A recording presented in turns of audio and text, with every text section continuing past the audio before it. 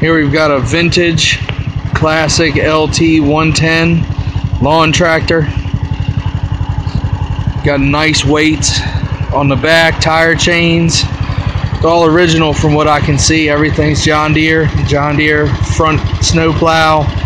We got a mower deck for it as well. We'll show you in a minute. All the lights work, front lights, rear lights are sitting there working. It charges.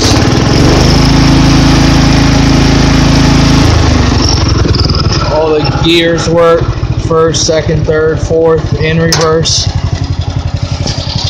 All you got to do is mount the mower deck. We've got all the brackets, belt, everything you should need to mount that.